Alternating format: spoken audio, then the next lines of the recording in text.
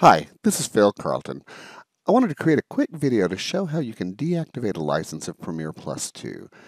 Now you can have Premier Plus 2 activated on two computers at a time, but it is important that you know how to deactivate a license. Say you are rebuilding a computer or you've gotten a new computer and you want to move that license over. It's important to know how to do this, and it's a really easy process. So I'm here in Premier Plus 2 Configure, and I'm just going to go into the activation program. So I'm going to click Activate. It's going to take just a moment and take me into the activation system. Now it already has my email, so now all I need to do is type in my password.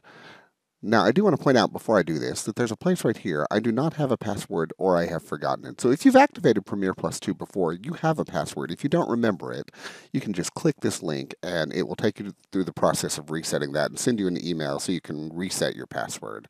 But I'm going to go ahead and just type my password in here and click Next. And then we get to the activation screen. Now, this is the screen that we typed in our activation code when we activated Premier Plus 2. But if you look down here at the bottom, there's an option right here. I would like to remove my activation from this computer. I'm going to go ahead and click that.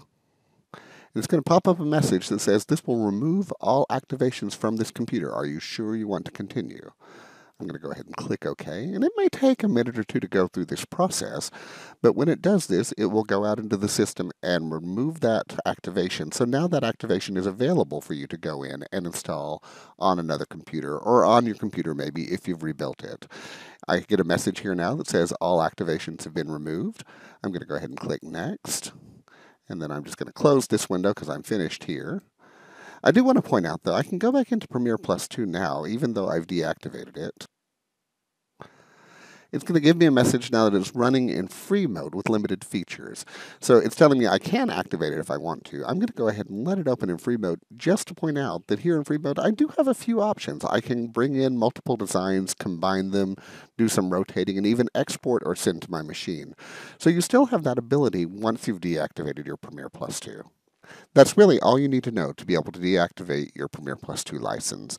When you get your new computer then, or when you've rebuilt a computer, you can go back into Premier Plus 2 Configure, click on Activate, and just go through the activation process again with your product license code. Thank you very much.